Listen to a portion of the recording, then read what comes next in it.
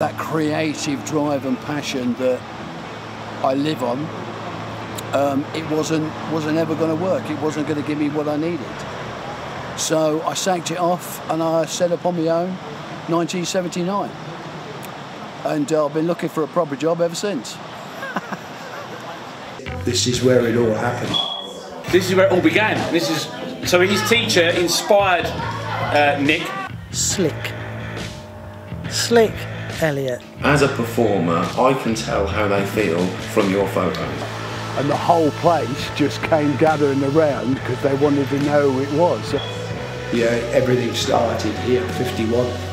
Everything. Without this, I wouldn't be the person I am today. In between the fights, in between falling off motorbikes, having crashes, which we did do. Parked it outside the back door. Uh, we went in, he never said anything, and he just waited for the explosion the following morning. One of the very first places it started was certainly on the live stuff.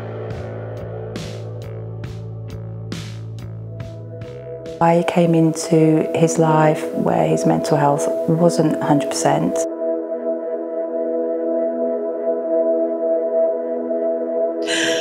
And he started to die. Without a doubt, Lindsay Barnes saved my life.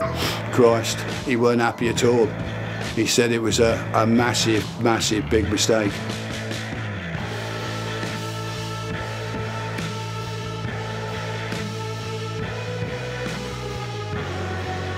It was really good fun. And uh, then we went out salmon, because he's big time into salmon. Also part of his OCD as well, that he has to get things right. That's nice, that's lovely. And again. And it was really quite emotional to come back here. It really was. It's been a long time. And I trained, most of the time we spent here training for the Olympics, 1972 Munich.